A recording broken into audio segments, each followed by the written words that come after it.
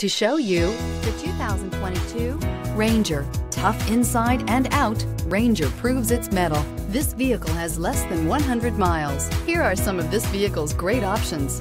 Tire pressure monitoring system, emergency braking preparation, active grille shutters, traction control, stability control, roll stability control, daytime running lights, power brakes, braking assist, battery saver.